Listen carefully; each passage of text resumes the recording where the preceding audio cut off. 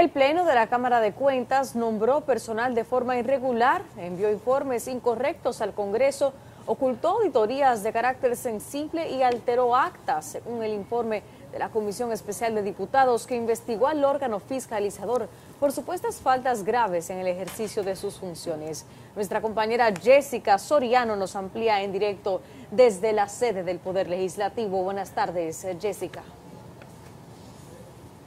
Gracias, muy buenas tardes. Los detalles de esta acusación los dio a conocer el presidente de la Cámara de Diputados, Alfredo Pacheco, quien sostuvo que dentro de las faltas graves cometidas por el Pleno de la Cámara de Cuentas también figuran usurpación de funciones, sesiones convocadas de manera irregular, entre otros hechos que serán presentadas debidamente en ese informe. Pacheco responsabilizó a la oposición de mantener una Cámara de Cuentas funcional debido a que estos rechazan que los cinco titulares del órgano fiscalizador de los recursos del Estado sean sometidos a un juicio político. Pese a la advertencia de Pacheco, diputados del Partido de la Liberación Dominicana insisten en que presentarán un informe disidente por considerar que las faltas cometidas en la entidad auditora no ameritan que sus miembros sean inhabilitados por 10 años si son llevados a un juicio político. Vamos a escuchar.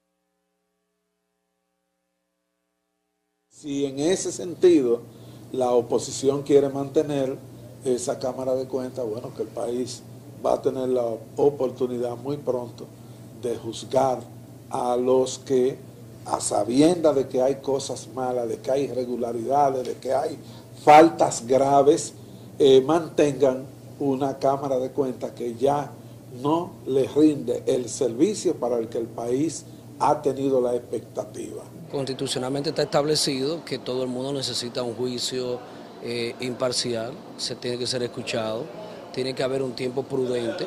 Lo que el Partido de la Liberación Dominicana y, sus cuatro miembros eh, hemos establecido, en mi caso también como miembro de, de esa comisión especial, es que podamos seguir evaluando. Pedimos que se ampliara el plazo para seguir haciendo Tanto la investigación. el presidente de los diputados como la comisión que investigó a los funcionarios de la entidad fiscalizadora aseguran que la decisión de acusar al Pleno del órgano de control ante el Senado de la República se hizo sobre la base de las pruebas que la misma Cámara de Cuentas suministró a este Congreso Nacional.